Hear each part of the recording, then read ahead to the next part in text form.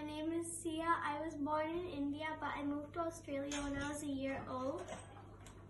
Through the last nine years, I have learned a lot about India through my parents and extended family back in India.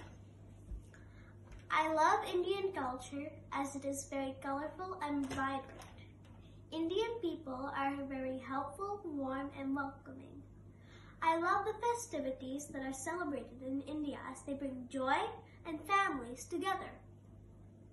The thing that makes me proud to be an Australian Indian is how Indians are leading the world in all the areas, like science, technology, and art.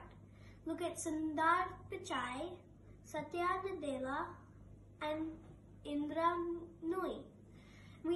Indians have become global citizens and leaders. Some days I will aspire to be one of these proud these people to lead the world and make India proud.